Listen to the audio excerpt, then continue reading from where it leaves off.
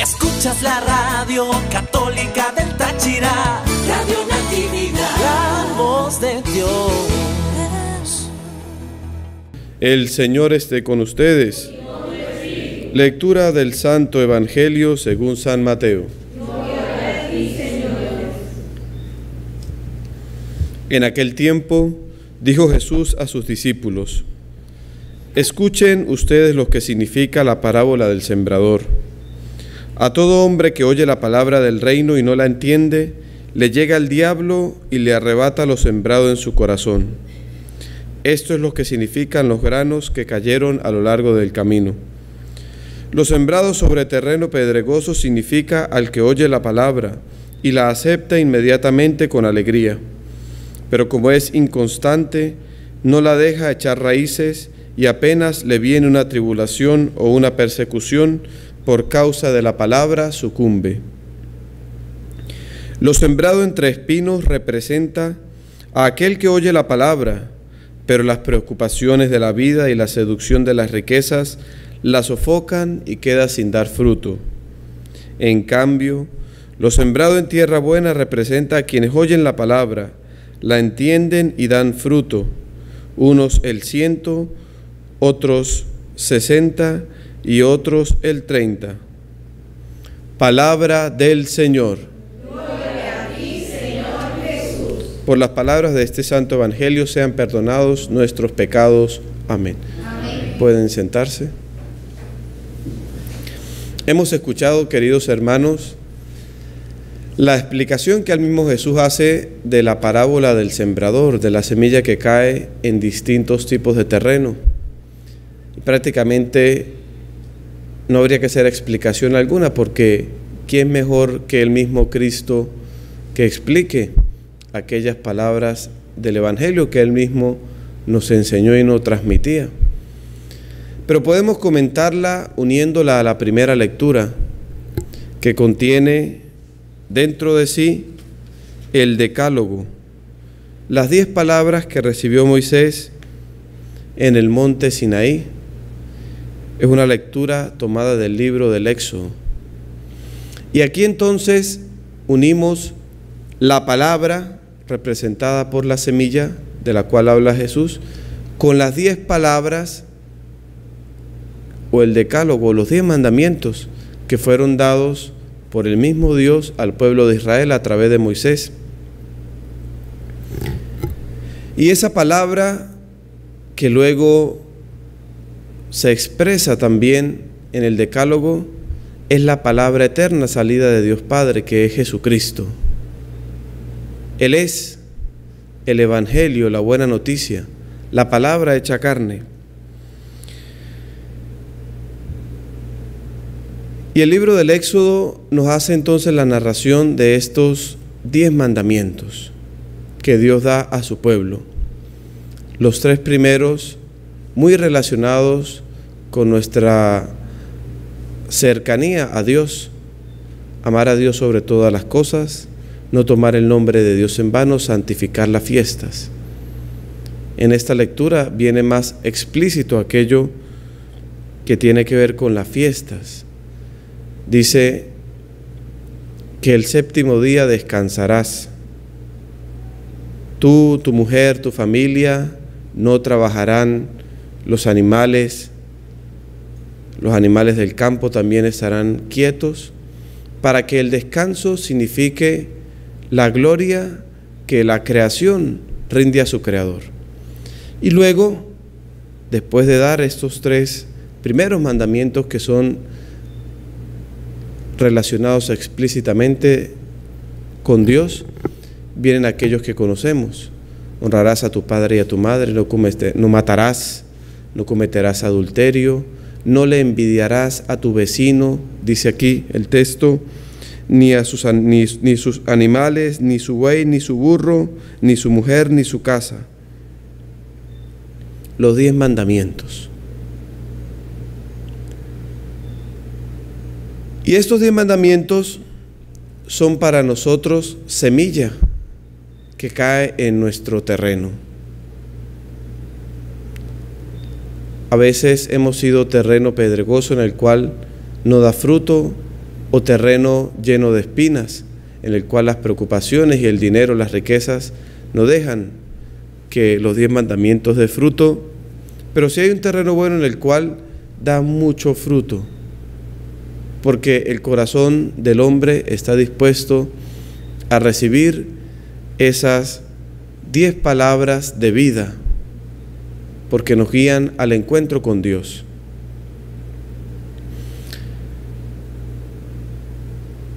Y entonces aquí tendríamos nosotros que pensar, reflexionar o meditar sobre una realidad. Y esto va unido también a nuestra humildad para la escucha de la palabra de Dios.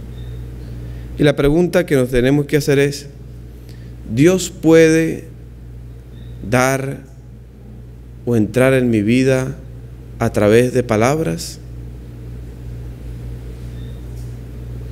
¿Dios tiene derecho a entrar en mi vida? Y aquí van a surgir muchas respuestas. Unos van a decir rotundamente no. Entonces, los diez mandamientos que son palabra divina quedan totalmente anulados para Él. Otros van a decir, en algunas cosas sí, en algunas cosas no. Y entonces son, terreno pedregoso o terreno lleno de espinas. En algunas cosas sí, Señor. Y entonces, dice Cristo, es aquel que la acepta con alegría, pero después sucumbe ante las tentaciones del mundo. En algunas cosas sí, Señor, pero donde entonces Dios necesita mi testimonio, sucumbo ante la tentación del mundo. Otros van a decir, como la Virgen, que es humilde y modelo de escucha, Señor, habla, que aquí está la sierva del Señor. O como dijo Samuel, Señor, habla que tu siervo escucha. Y entonces son el buen terreno que habla en el corazón y es aquel que en su relación con Dios le deja espacio para darse cuenta de quién es Él, que Él es una criatura, un hijo de Dios, y que no puede no tener en cuenta a su Dios, a su Creador. Y entonces el hombre bueno, el hombre justo, el hombre que en medio de las tentaciones, en medio de las dificultades de la vida, abre su corazón a la palabra de Dios y a las palabras de Dios que están también inscritas en los mandamientos apertura de corazón para ser terreno bueno. Y me gustaría detenerme en uno de los mandamientos que en el libro del Éxodo hoy se explica un poco más eh, prolongadamente. Dice, acuérdate de santificar el sábado. Seis días trabajarás y en ellos harás todos tus quehaceres, pero el día séptimo es día de descanso dedicado al Señor tu Dios. No harás en él trabajo alguno, ni tú, ni tu hijo, ni tu hija, ni tu esclavo, ni tu esclava, ni tus animales, ni el forastero que viva contigo, porque en seis días hizo el Señor el cielo y la tierra, el mar y cuanto hay en ellos, pero el séptimo día descansó. Por eso el Señor el sábado lo bendijo y lo santificó. Fíjense qué importante es este tercer mandamiento de santificar las fiestas. Seis días trabajarás y el séptimo día descansarás. En el resto de los días se hacen todos los quehaceres. Para aquellos que le dicen a Dios, no te metas en mi vida, no hay domingo, no hay día del Señor, no hay motivo para descansar un poco y ir al encuentro con el Señor como iglesia. Para aquel que en algunas cosas le dice al Señor, en esto te puedes meter, en esto, en esto no te puedes meter, algunas veces va cuando toca. cuando hay que ir por un matrimonio, o por un funeral o por un bautizo. Y está el que en su relación con Dios, de manera honrada y de manera también sensata, justa y prudente, el día del Señor, el domingo, es el día de descanso. Es el día en el que vivo una cosa sencilla como Dios la ha dado. Es el día de encuentro con Él. Es el día de no trabajar. Y lo hacen. Porque hay fe, porque hay apertura. Si no hay fe no podemos nosotros justificar ningún descanso, no podemos nosotros justificar ninguna participación a la fiesta del Señor, a la santificación de los días, a la santificación de las cosas. Es un terreno seco, es un terreno pedregoso, es un terreno estéril. Yo sé que todos quisiéramos que los hombres, que la humanidad fuera cada vez más y toda la iglesia fuéramos terreno fértil, terreno bueno. Y eso lo queremos, y lo quiere la iglesia y lo quiere Dios. Pero tiene que haber de parte de nosotros esa conciencia de nuestra relación con Dios. Y aquí hay que explicar algo, porque ¿cómo es eso que se descansa el día sábado? y nosotros celebramos el domingo. Entonces tienen razón nuestros hermanos separados que nos dicen que nosotros estamos equivocados y el sábado sí y el domingo no. estamos escuchando una lectura del Antiguo Testamento. Cristo inicia el Nuevo Testamento y Cristo introduce una novedad también dentro de aquello que hasta ese momento Dios había manifestado al pueblo de Israel. Dice el texto que el séptimo día, el día sábado, el día del descanso, se consagrará al Señor. Pero eso según la primera creación, la de los siete días, ¿no? El primer día el Señor hizo, el segundo día el cielo y la tierra, como lo conocemos, y el séptimo día descansó el sábado. Con Cristo se produce la nueva creación, la creación que viene redimida del pecado y de la muerte que había introducido aquella tentación de nuestros primeros padres en medio de esta humanidad. Y como en Cristo se da una nueva creación de todas las cosas, va a ser el domingo, el día de su resurrección, el primer día de la semana, como dicen los evangelios, cuando todas las cosas, en virtud de la glorificación que el Padre ha hecho al resucitar a su Hijo Jesucristo, toda la creación ha sido nuevamente repredestinada aquel que fue su creador, a Dios Padre, por el Hijo en el Espíritu Santo. Y por eso nosotros celebramos ahora el domingo, porque es el primer día de la semana el día del Señor resucitado. Según la primera creación, el sábado es el día del descanso. Pero Cristo que ha hecho nuevas todas las cosas, el día domingo, ese día de la nueva creación va a ser consagrado a celebrar su misterio pascual de la muerte, y de la resurrección gloriosa del Señor Hijo de Dios. Y por eso nosotros vamos el domingo y no el sábado. ¿Y esto cuando empezó, Padre? Desde el primer momento en que la iglesia nació. Basta leer los hechos de los apóstoles para ver. Dice que los discípulos que eran judíos guardaban el sábado pero se introdujo inmediatamente una novedad. Ellos el sábado iban a la sinagoga para escuchar las enseñanzas que pertenecían a los textos del Antiguo Testamento del pueblo de Israel. Ellos no fue que comenzaron como anárquicos a romper con su tradición judía. Ellos seguían yendo el sábado por la tarde a escuchar lo que se enseñaba en las sinagogas.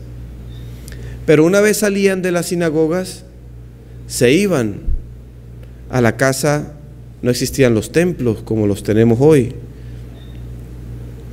Se iban a la casa de fulanito, de alguno de los primeros discípulos del Señor. Y ahí se reunían. Después de que salían de la sinagoga, nos vamos a ver en la casa de Proclo o de Aquila o de Pablo o de alguno de los discípulos o de Marta. Y ahí se reunían el sábado por la noche, que para los judíos era ya el inicio del domingo, la víspera del primer día de la semana. Y se reunían para qué? Para escuchar la novedad de aquello que les había sido explicado en la sinagoga, en el, en el Antiguo Testamento. ¿Y qué les explicaban?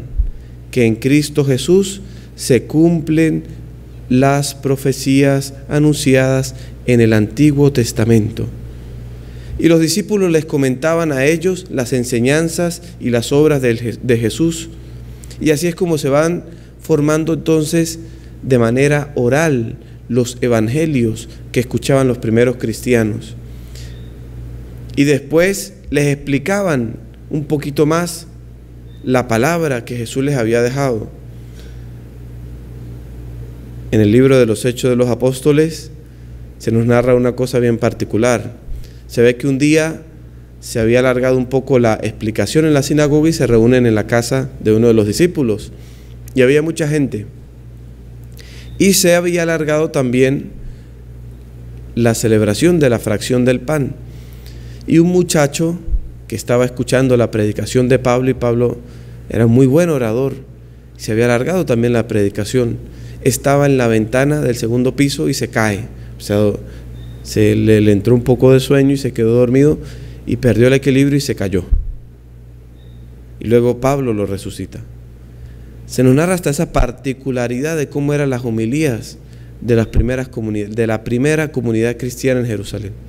Y después de que hacían esto, los discípulos traían un poco de pan, traían vino, traían también un poco de agua, y los apóstoles hacían aquello que el Señor les había entregado el jueves santo antes de sufrir su pasión y su muerte y resurrección un poco de pan, un poco de vino y dijo, esto es mi cuerpo, esta es mi sangre. Y así se fue formando la conciencia del domingo, el día en que el Señor Jesús resucitó, el primer día de la semana, el día de la nueva creación en Cristo. Y así es como se fue formando entonces la estructura de la misa. Nosotros la primera lectura la tomamos de él, por lo general, del Antiguo Testamento esas lecturas a la cual los primeros discípulos participaban en las sinagogas. Y después inmediatamente y sobre todo el domingo escuchamos en la segunda lectura o una carta de Pablo o escuchamos una de las cartas católicas o escuchamos una parte de los hechos de los apóstoles. Esa novedad que explicaban los apóstoles. Inmediatamente escuchamos el Evangelio y la homilía, que era lo que los discípulos les, les hablaban a los primeros seguidores de Cristo sobre qué había hecho Jesús, qué decía Jesús. Y después de esto acercamos al altar ofrenda del pueblo, un poco de pan, un poco de vino, y el presbítero o el, o el, obispo hace aquello que el Señor nos mandó. En memoria mía, dice Cristo, esto es mi cuerpo, esto es mi sangre. Y así celebramos, como dice la liturgia, el memorial del Señor resucitado.